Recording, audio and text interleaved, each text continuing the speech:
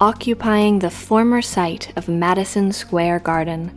Worldwide Plaza is a sprawling, mixed use development in Clinton that spans a full city block between West 49th and West 50th Streets and 8th and 9th Avenues.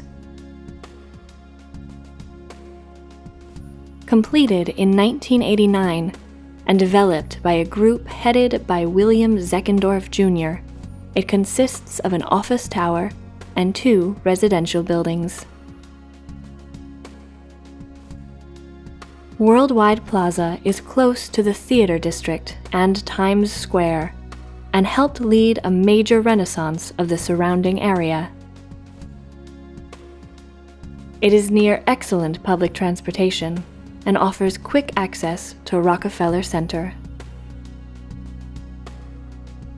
Residences have high ceilings and expansive windows with sunny views of the Hudson River and the Manhattan cityscape. Many apartments boast balconies or terraces that overlook a courtyard and an elevated plaza.